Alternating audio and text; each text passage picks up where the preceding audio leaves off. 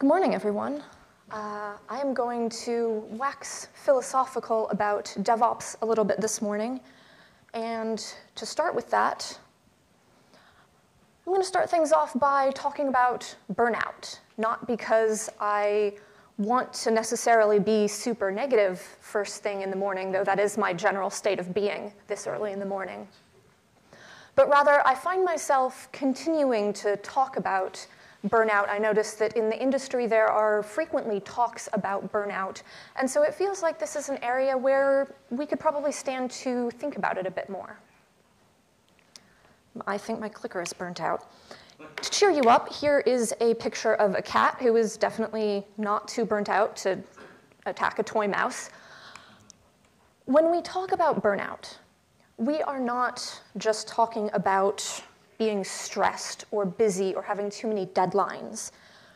We're talking about a state of physical and mental exhaustion, a lack of efficacy, increased cynicism, kind of the state of everything is terrible and I just don't have the energy to fix it and I am out of energy to care anymore. It's not really a great state of being in, being so disconnected that you really can't engage with your work, or even your life outside of work. There we go. Burnout is something that I have struggled with myself over the years. I feel very lucky that I've been supported enough in my workplaces to be able to, to talk about this publicly, to be able to get up on stage and be like, yeah, I'm kind of on fire right now. Can we talk about this? And a lot of the times when I was struggling with burnout, it came from feeling really, really disconnected whether that was something like having to be closeted at work or feeling like I wasn't part of a team, like I was a, I spent several years being a one person ops team and feeling like I was the only person who really cared if the data center was literally on fire, feeling like I was just not really part of a community, that I was really disconnected from people around me. Dr. Christina Maslach is a researcher who has done a lot of work looking into burnout uh, and she identified these six key areas where if there's a disconnect or a mismatch in between a person and their work environment, it can really exacerbate and contribute to burnout. So the first area is workload, which is what people tend to reach for first when we talk about burnout, the idea of, oh gosh, I have too much to do and too many deadlines and everything is chaos. That can definitely be a contributing factor. Um, on the flip side, if you don't have enough work to keep you busy or your work isn't challenging or engaging, I at least don't want to show up to work every day and be bored and have nothing that feels meaningful to do. There can be a sense that you don't have enough control over your work environment. You might have a manager who is micromanaging you, or it might feel like you just don't have any sort of say over the, the work that your team is doing. You might not feel like you're getting rewarded.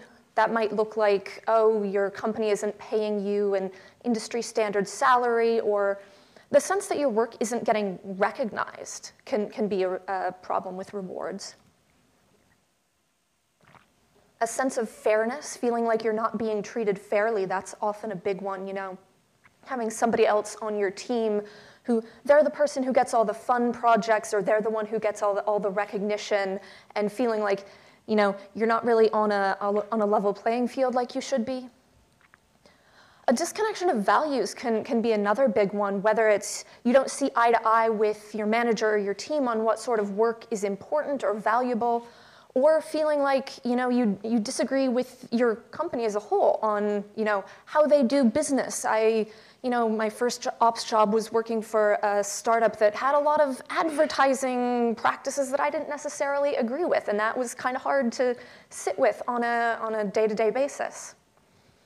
And then there's community, kind of like I talked about, feeling like you don't belong in, in your team or in your organization as a whole. So I think the way to kind of think about reversing this is look for ways that we can connect people to find ways to help people feel like they're more effective, that they can be optimistic, and that they have energy again. So this is why I want to talk about this because I don't think it's really the right approach to address burnout only from an individual level.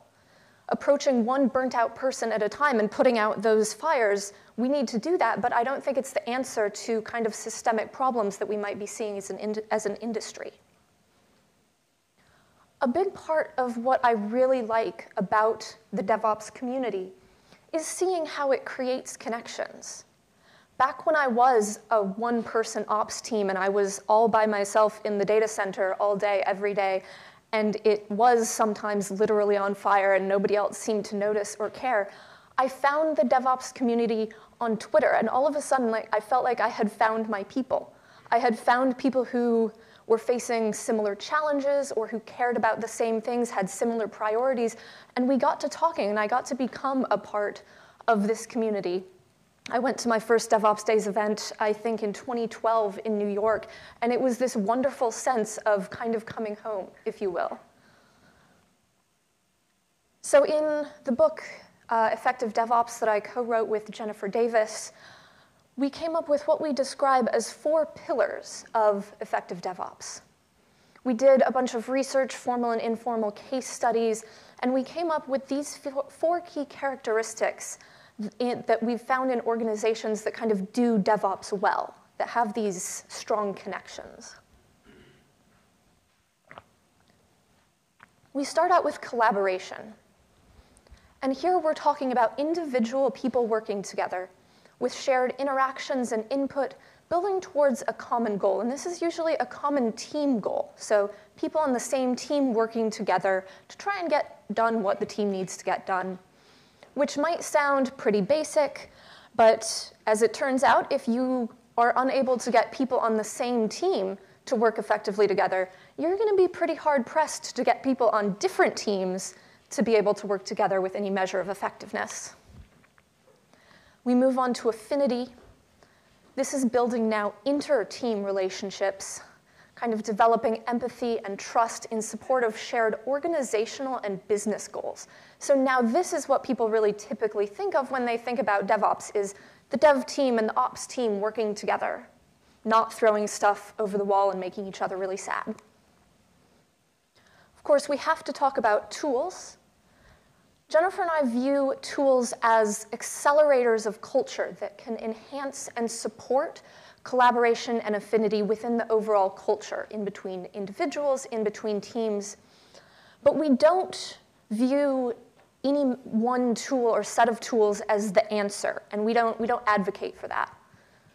Tools reinforce culture, but they cannot replace it, and they cannot fix a broken culture. If you have a culture where there is so little trust that people don't communicate, that they refuse to really talk to each other or tell each other anything, switching up which chat system you use is not actually going to fix that, unfortunately. And finally, we talk about scaling. Now, we're not talking about some magical web scale enterprise DevOps that's somehow different from regular DevOps, because that's not a real thing. But we're talking about applying the previous three pillars collaboration, affinity, and tooling throughout the various inflection points of an organization's life cycle. Because you can't just sit to yourself and say, okay, we, we did the DevOps, we checked that off, we have got a DevOps now, we're done, we don't need to worry about it anymore. Your organization is going to grow and change, and it's important that you be able to, as teams, as an organization, identify what your problems are and figure out how to apply these considerations to start to fix those problems throughout your organization's life cycle. So we have these four pillars, and ultimately, what they do is they help us create connections. Whether that is connections between individual people sharing perspectives and ideas, connections between teams that might have different goals a, on a small scale, but are overall working towards the same organizational goals. Connections with your customers to help better understand them, help them solve their problems. Or connections like with the industry as a whole, like at conferences like this, where we share stories with, with each other to try and make each other more, more effective.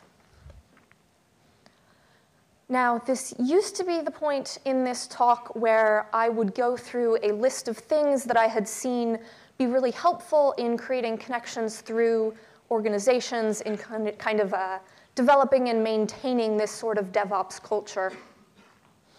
I'm not going to do that list today because I feel like while those ideas were really good under certain circumstances, it started to feel like the focus was too narrow and I was being a little too prescriptive.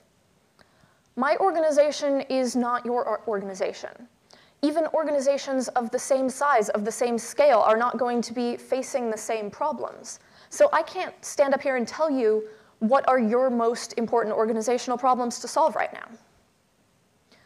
There is no one size fits all DevOps solution. There is no one way that you can just do the DevOps.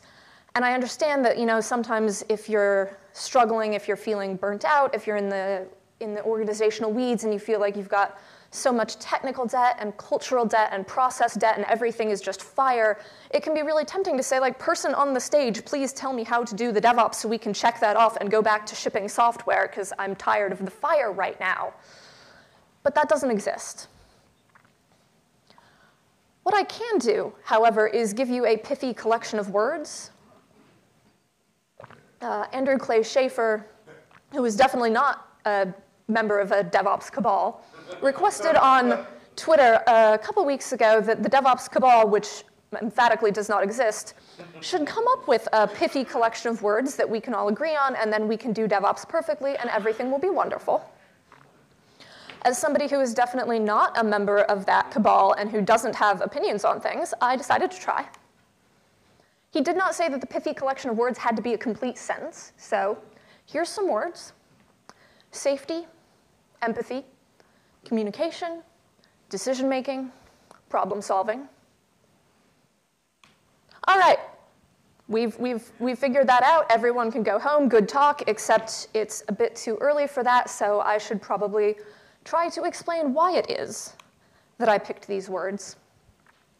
And when it came down to it, it's because when I went through all of the suggestions that I had given in previous versions of this talk for how to make organizations more connected, they all came down to some combination of these things. Now, I don't know if the rest of the non existent cabal is going to agree with these words, but they re really resonate with me, so I'm going to talk a little bit about why.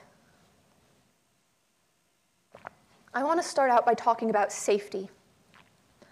The idea that you can take risks, that you can suggest new ideas, you can speak up, you can disagree with people in a you know, respectful, healthy way. You can admit when you don't know something or when you made a mistake and not have there be negative repercussions. I have talked on at, at, previous conferences about the time that I single-handedly nearly took down Etsy.com by accidentally upgrading Apache everywhere that was a safe environment where I was able to, when I noticed that I had done this, be like, uh, hey, friends, so I just broke everything. Who wants to help me fix it? It'll be fun. And the response that I got from my colleagues was, this is fun, how can we help? Instead of, oh God, you broke the site, like, we're, we're not talking to you anymore. That sort of safe environment. Google published a study in 2017, I think it was, and it showed that the highest performing teams that they had were the ones with the highest amount of psychological safety. Teams need this and people need this. Because when you don't feel safe, you get stuck in this uncomfortable, amygdala hijacked fight or flight response sort of state, which is exhausting and it is disconnecting. It is a recipe for burnout and not necessarily getting good work done. I don't have time to go into all of the research that they did, but the TLDR is that psychological safety requires, and I'm paraphrasing here, requires people to have a mindset of curious collaboration with fellow humans. So curious, thinking about curiosity rather than blame. Like, oh, interesting, what were you trying to do? Rather than, oh God, why did you take down the site? A base assumption of collaboration, of we are trying to work together rather than an adversarial mindset. And viewing each other as humans. We're all people here. We're not just email addresses or Slack handles or GitHub handles or what have you, but we're people. And it's important to be aware of that. So, looking for ways to make your teams and organizations safer, be curious about what people are thinking, why they make the decisions that they make be blameless or blame aware, however you want to phrase it, with very few exceptions, people don't come into work to try and make mistakes, to try and do a bad job. So when things inevitably go wrong because we are humans and computers are terrible and bad things happen, try and be blame aware and look for ways to learn from these sorts of things. And then pay attention to incentive structures within your organization because it's one thing to say, like, yeah, we're going to be blameless. But if people are throwing their colleagues under the bus and those people are the ones who, getting, who are getting promoted, you know, that says something about values in, in practice versus values in theory.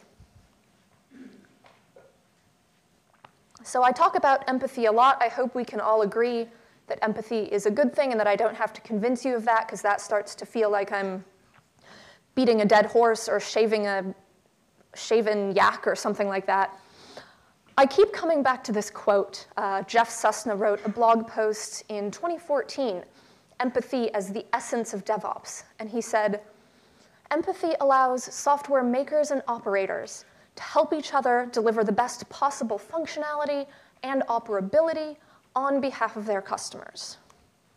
And then this morning, I was awake since 4 a.m. because I flew in from Berlin and my body doesn't know what time zone it's in, and somebody tweeted, retweeted this into my feed. The craft of programming begins with empathy, not formatting or languages or tools or algorithms or data structures. So if it's on the internet, it must be true. Finding ways to practice empathy. Listen to each other, learn from each other, ask questions, appreciate that people are going to have different backgrounds and perspectives and look for ways to, to connect with each other, to find the commonalities that we have between us so that we can really learn from each other. Again, approaching people with curiosity for their ideas, approaching them with care for their humanity and their experiences, and building structures to support people.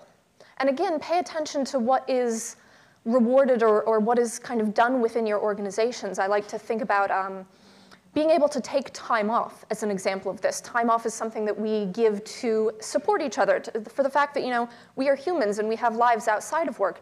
But if you have an organization that, you know, has an unlimited vacation policy and nobody ever takes vacation, that's not an organization that is actually that as supportive as it could be.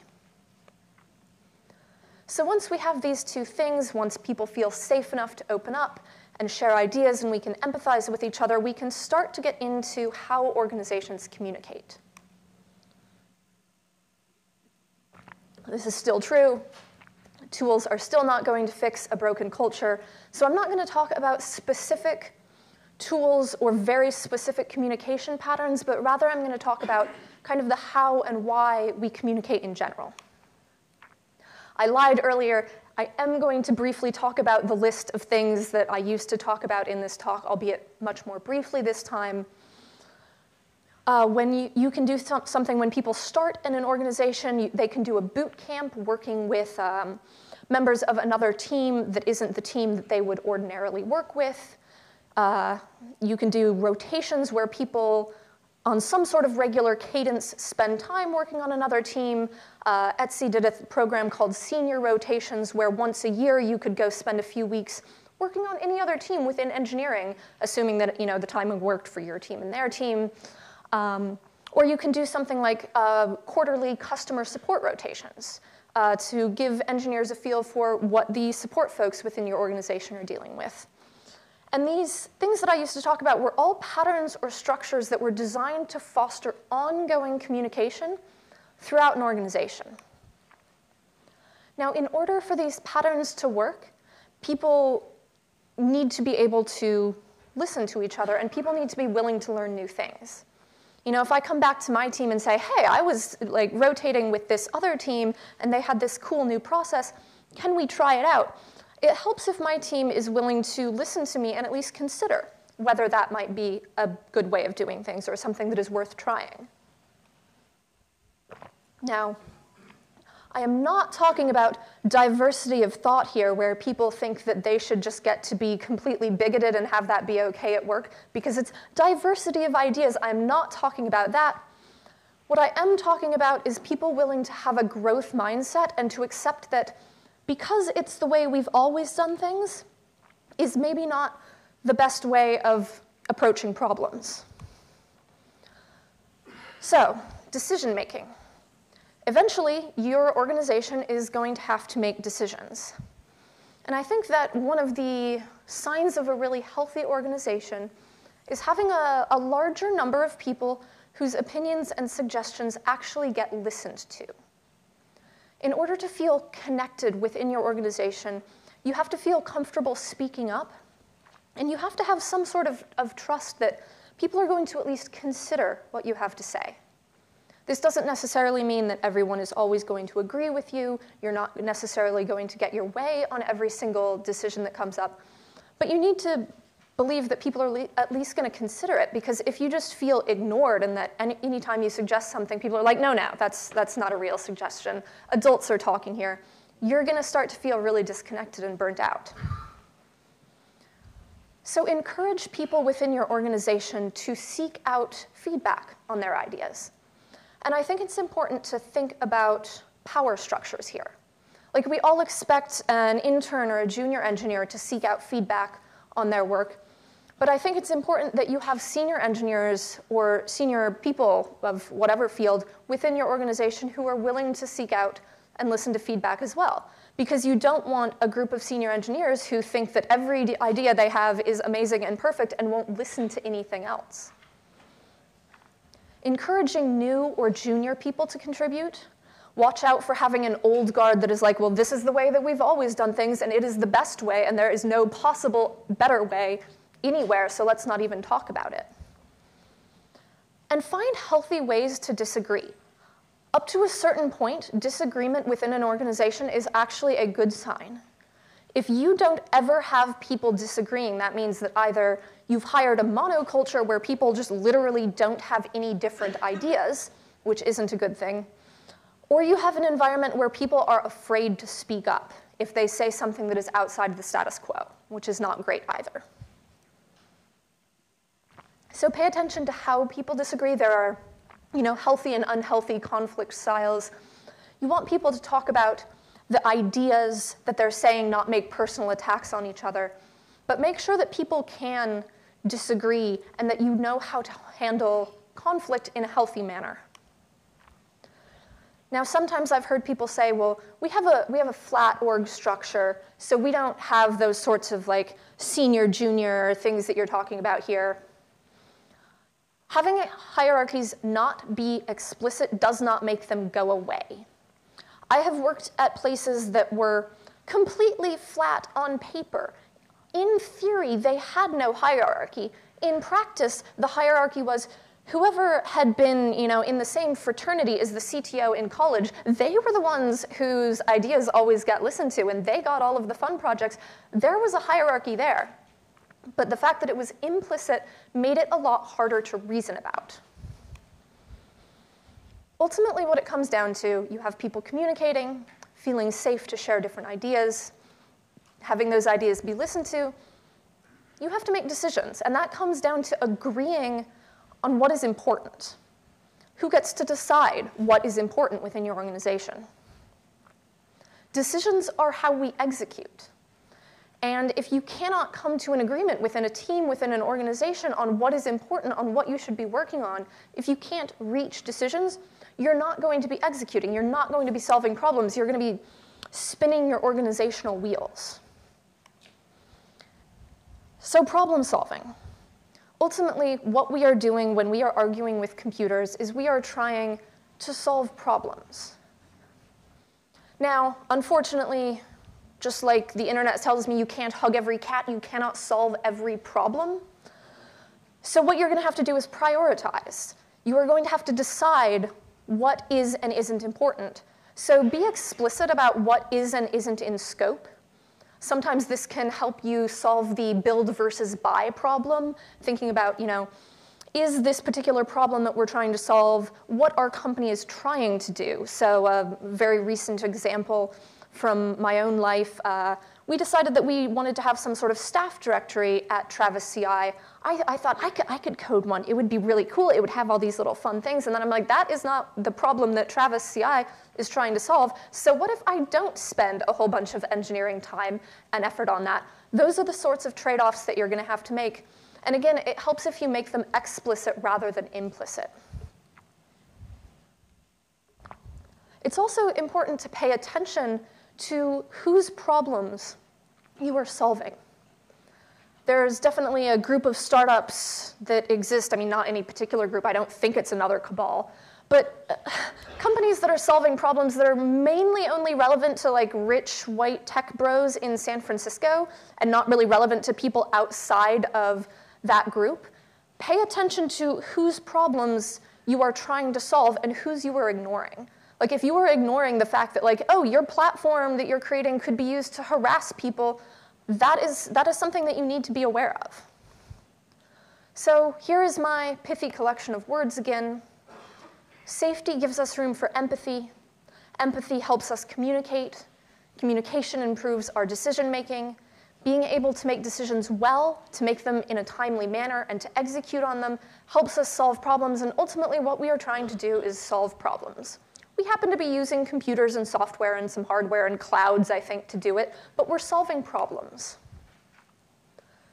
DevOps was originally trying to break down these metaphorical silos in between, you know, the dev team and the ops team, to help these teams and these people feel like they had some common goals and purposes rather than being at odds with each other. And this extends far beyond just dev and ops. Any anytime you have a situation where you have an in group that's like the cool kids, that's higher status within your organization than the out group, runs the risk of making, feel, making people feel disconnected, unappreciated, burnt out.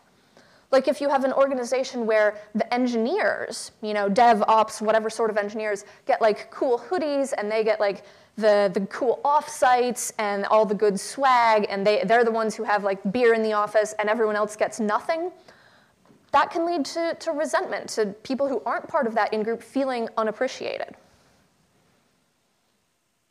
Disconnecting, feel, feeling disconnected, like you aren't valued, like your work isn't valued, that is this huge contributing factor to burnout. It really sucks to come into work every day and feel like nobody cares what you do or nobody cares about you as a person.